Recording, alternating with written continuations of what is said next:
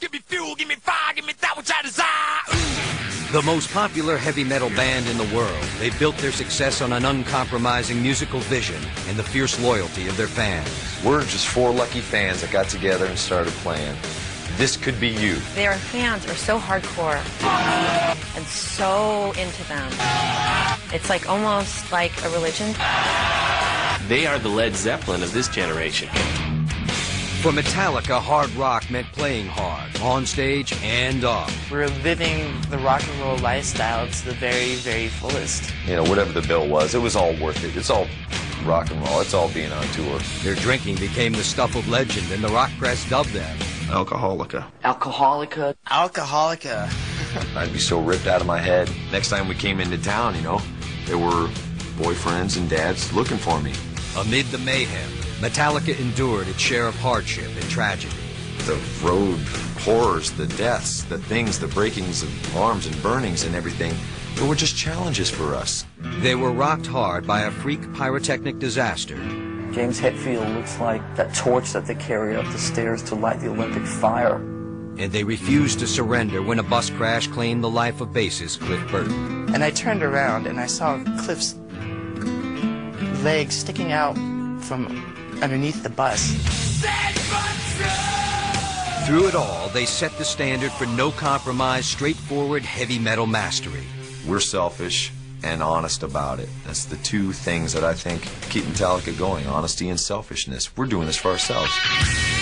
Tonight, the underground sensation who became one of the most influential forces in hard rock history Metallica. Behind the music.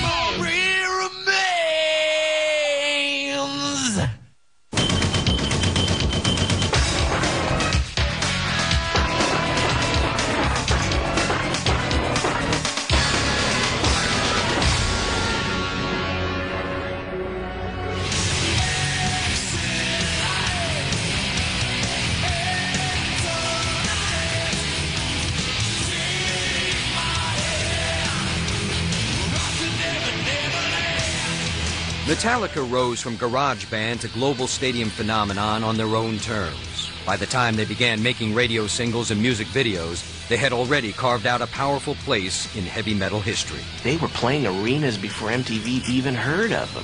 Radio was nowhere, you know, MTV definitely big no-no. No one would help us, so we played live. We played till we dropped.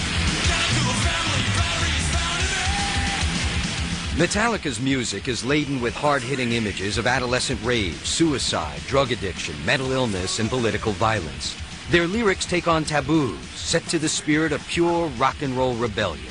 A battery works out for positive and negative, you know? So uh, we were very good at the negative stuff.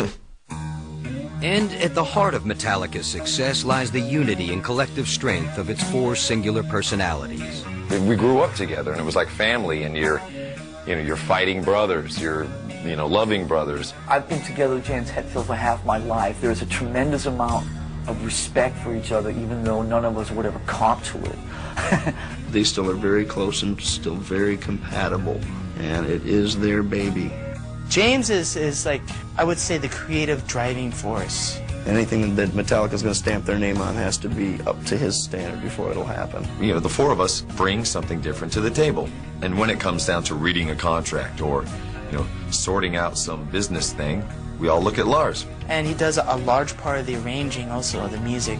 Jason really developed into the live guy. He is the never-ending connection with the fans. He'll stop the fan and go looking for people to sign autographs, you know? He's the first guy that comes to me and tells me if I'm losing it. And Kirk, the slightly insane free spirit. Eccentric, you know, Kirk Hammett. He's the spiritual, that kind of vibe.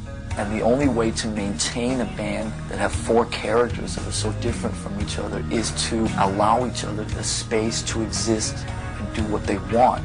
And we knew uh, from day one that this was going to be our lives. And uh, we were going to make this thing work no matter what. James Hetfield was born in Downey, California in 1963 and raised in a strict Christian Science family broken by divorce. When James was a teenager, cancer claimed his mother's life. Doctors and hospitals are kind of like taboo, and with the help of God, you will get better. You know, you're kind of going with it, but you feel it's not quite right, and you're at school, and okay, now it's time for health class, and I have to get up and leave. You know, learning about the body wasn't necessary. This is a shell, and what's true is your soul, and all this. So actually leaving class and then getting, you know, all the little kids. So that was the beginning of alienation, I believe, as a child. Back then, James was like the most introverted person you've ever seen. He didn't really talk. Anytime you'd see him, he'd just, hey, how's it going? Pick up his guitar and just start jamming away, you know? In 1963, on the other side of the globe, Lars Ulrich was born to a prominent Danish tennis pro. For a time, he was groomed to follow in his father's footsteps. The thing was that in Denmark, um, I was somebody, you know, ranked sort of somewhere in the top tens in my junior years and so on. When I came to the States in like 1980, I was basically like, I mean, I wasn't even ranked in the top 10 on the block I lived on. In the beginning, he was sort of kind of an air guitar guy, you know, and going completely, uh, you know, crazy with his broomstick or whatever, or a kind of a racket, you know. Of course, a tennis racket can also be sort of an air guitar, right? Drums had been the kind of hobby away from tennis. And at the tail end of, of 1979, there was what was called the new wave of British heavy metal. Iron Maiden, Def Leppard, Motorhead, Saxon, Tygers of Pan Tang, Diamond Head, Angel Witch, you know, the list goes on. It was the attitude. The attitude came from Motorhead. Rock and roll was supposed to bring you crazed joy and rebellion for no apparent reason, for its own sake, right? That's what it started out as, music to piss your parents off with. James and Lars met in Los Angeles in 1981, drawn together by fate, and the musicians wanted ads in a local paper. You know, under heavy metal, there were two guys, and it was me and him. Lars had this drum kit. It was 10 different colors, one cymbal. He hit it, it kept falling over. Finally, he sits down and he's just like,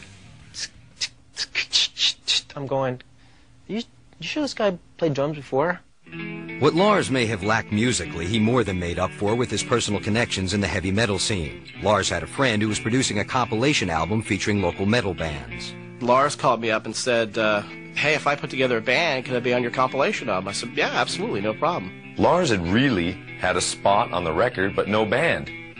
So, hmm, in my kind of will and maybe greediness to get going in this thing, said, okay, uh, we'll hook up. The band had a spot reserved on an upcoming album. Soon they had a second guitarist, Dave Mustaine. I went in there and I set up my gear. I started warming up, and these guys were all in the other room. I walk in there and I said, uh, "Come on, let's go." And they said, "You got the job." And I went, "That was easy."